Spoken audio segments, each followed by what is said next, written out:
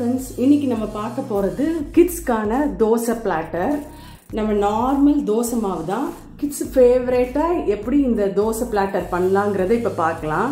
நான் என்னெல்லாம் எடுத்திருக்கேன்னா ஆக்சுவலாக சீஸ் ஒரு க்யூப் வந்து ஸ்லை நல்லா கிரேட் பண்ணி வச்சுருக்கேன். ஸ்ப்ரிங்கிள்ஸு அப்புறம் பன்னீர் கிரேட் பண்ணி அதில் கொஞ்சமாக சில்லி பவுடர் போட்டிருக்கேன். சேஷ்வான் சாஸ் அதாவது மயனேஸும் டொமேட்டோ சில்லி சாஸும் எடுத்து வச்சுருக்கேன். இது வந்து ஆக்சுவலாக தவா பர்கர் மசாலா.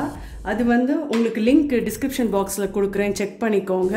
தவா பர்கருக்கு நம்ம ஒரு மசாலா பண்ணோம். அப்புறம் ஹெஷீஸ் சாஸ் சாக்லேட் தோசாக்கு பொடி எடுத்து வச்சுருக்கேன். பொடி தோசா. ஸோ இது எப்படி பண்ணுறதுன்னு இப்போ பார்க்கலாம். ஸோ இப்போ நான் தோசைக்கல் வச்சுருக்கேன். ஆக்சுவலாக இது சின்னதாக ஊத்தப்பம் கல் மாதிரி. உங்கள்கிட்ட நார்மல் தோசைக்கல் இருந்தாலும் ஓகே தான்.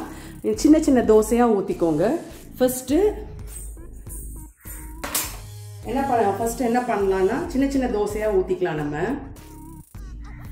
இது வந்து கொடுக்கும் கொடுக்கும்போது ஆக்சுவலாக நார்மல் தோசையும் பண்ணலாம். இந்த மாதிரி கொடுக்கும்போது அவங்களுக்கு ரொம்ப ஹாப்பியாக இருக்கும் சாப்பிட்றதுக்கு. எல்லாமே கிடைக்கிற இன்க்ரீடியன்ஸ் தான். அதை வச்சு நம்ம பண்ணிடலாம்.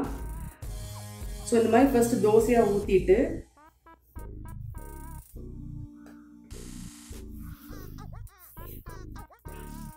ரெண்டு சைடும் நல்லா வேக விட்டுறலாம் ஃபஸ்ட்டு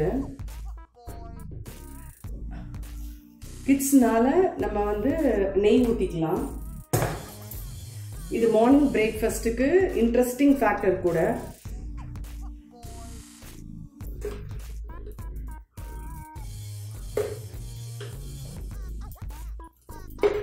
ஸோ இது ரெண்டு சைடும் வேக விட்டுட்டு அதுக்கப்புறம் எப்படி ஸ்டஃபிங் பண்ணுறதுங்கிறது பார்க்கலாம். ஒரு சைட் வெந்துருச்சு இப்போ திருப்பி போட்டிருக்கேன். ஒரு டூ மினிட்ஸ் வெயிட் பண்ணலாம். வெயிட் பண்ணிவிட்டு திருப்பி ஃப்ளிப் ஓவர் பண்ணிவிட்டு நம்ம ஸ்டஃபிங் ஆட் பண்ணலாம். ஏன்னா நம்ம வந்து ஒரு சைடு மட்டும் வெந்து நம்மளோட ஸ்டஃபிங் ஆட் பண்ணோன்னா உள்ளெல்லாம் சரியாக வேகாமல் இருந்தால் சரியா நல்லா இருக்காது. ஸோ நான் கொஞ்சம் வேக விட்டுட்டு அதுக்கப்புறம் ஸ்டஃபிங் வச்சுட்டு நம்ம ஒரு டூ மினிட்ஸ் விட்டோன்னா கரெக்டாக இருக்கும். ஃப்ளிப் பண்ணிட்டேன். இப்போ நம்ம ஒவ்வொரு ஸ்டஃபிங்காக போட்டுடலாம்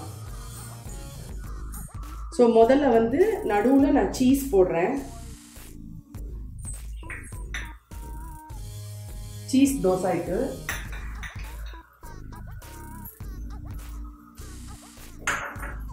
நெக்ஸ்ட்டு பொடி.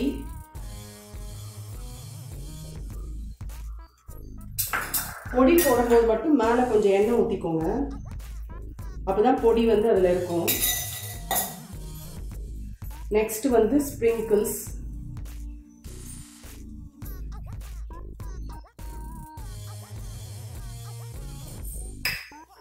நெக்ஸ்ட் நம்மளோட தவா பர்கர் மசாலா. அதை வந்து அப்படியே நீங்கள் வந்து இந்த மாதிரி ஸ்ப்ரெட் பண்ணி விட்டுறலாம். கரெக்டாக இருக்கும்.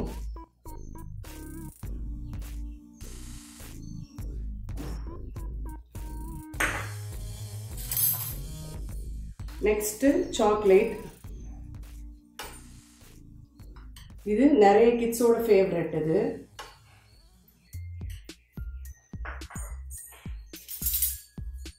நெக்ஸ்ட்டு நம்ம மயனேஸும் டொமேட்டோ சாஸும் கலந்து வச்சுருந்தது. அதையும் ஸ்ப்ரெட் பண்ணி விட்டுறலாம் அப்படி ஃபைனலாக பன்னீர். பன்னீரும் கிட்ஸோட ஃபேவரேட்டு நான் வந்து கொஞ்சம் சில்லி பவுடர் போட்டு எடுத்து வச்சுருக்கேன்.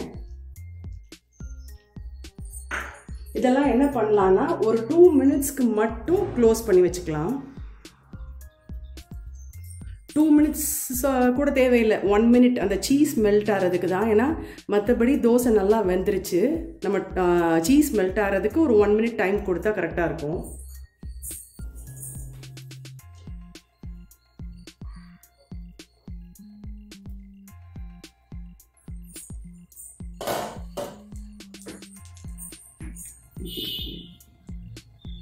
ஸோ இப்போ சீஸும் மெல்ட் ஆயிடுச்சு.